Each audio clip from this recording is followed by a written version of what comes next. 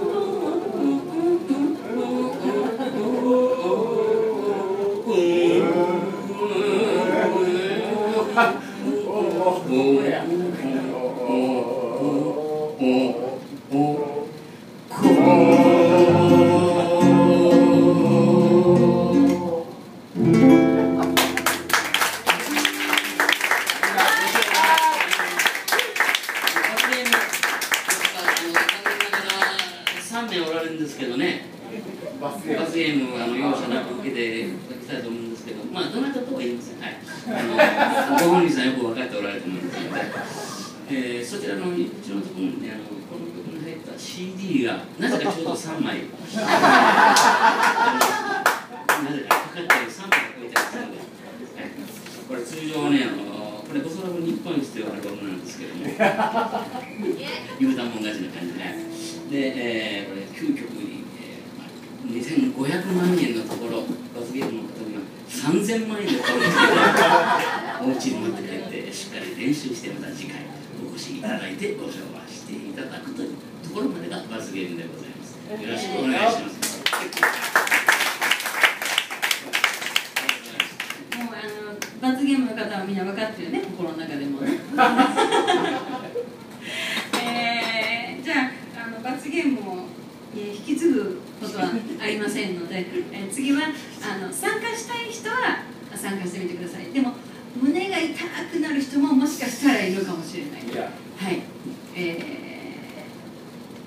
ー、歌詞を聞けなく私と視線が合わせなくなる人もいるのかもしれない。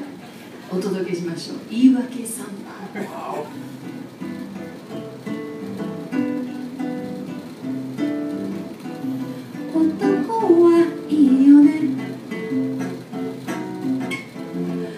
面で済むから男はいいよね。分かった。で済むから。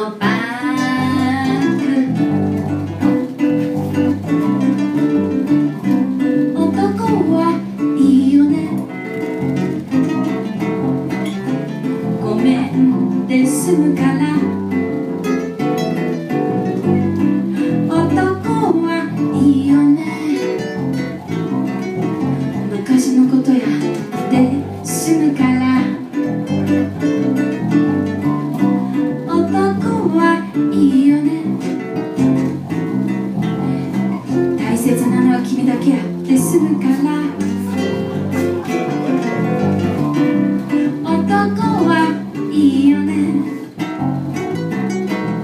二度としないで終わるか